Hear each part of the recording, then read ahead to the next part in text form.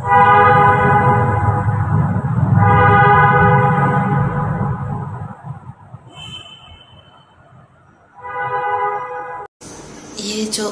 पच्चीस तारीख की जो हुआ तो उसके लिए लाइक हम लोग मोहसिन और हम दोनों की पार्टनरशिप में था तो हमने सलोन खोला था पार्टनरशिप में, एक लेडीज़ सलोन तो उसमें, उसकी वजह से हमारी थोड़ा लड़ाई हुई थी बीच में तो हमने जैसे थोड़ा लॉस हुआ था, चार हज़ार, पाँच हज़ार जैसे तो उसमें मैंने एक लड़की को डांट दिया था तो उसको बहुत गुस्सा आ गया। फिर मुझे बोला कि क्यों डांट रहा है? तो मैंने बोला कि तुम्हारी क्या रिलेशन है उसके साथ जो इतना गुस्सा आ रहा है? तो उसने सीधा मारने लग गया मुझे।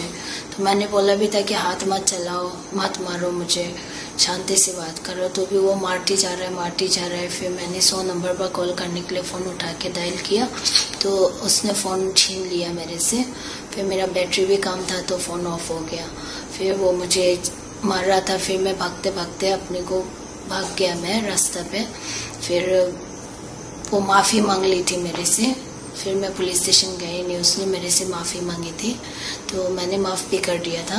फिर मैं पुलिस स्टेशन तो गई नहीं, पर जब ये वीडियो वायरल हुआ तो पुलिस वाले को पता चला कि सुबह से मेरे पे कॉल आ रहा है कि फिर भी मैं आज भी नहीं करना चाहता था एफआईआर। मैं आज भी उसके ऊपर कुछ एक्शन लेना चाहता हूँ, पर सबने मुझे समझाया कि पुलिस वाले ने सबने मुझे बोला कि ऐसा तो अगर आपके साथ आज हुआ कई और दिन दूसरे के साथ होना नहीं चाहिए तो सबने सपोर्ट किया मुझे।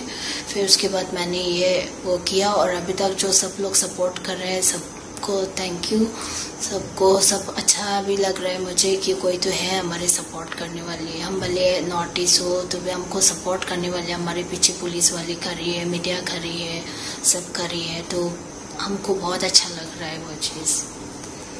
And thank you so much